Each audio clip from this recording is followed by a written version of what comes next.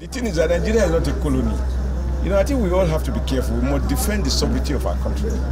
We welcome collaboration, we welcome peer review, we can compare notes, we welcome people who are who are interested in sharing experiences with us, uh, wherever the need arises, whether it's capacity building, uh, making useful suggestions on how we can continue to improve on our electoral process. Those are very valuable contributions that we appreciate. But Nigeria is not a colony. We will not accept any foreign interference in the internal affairs of Nigeria.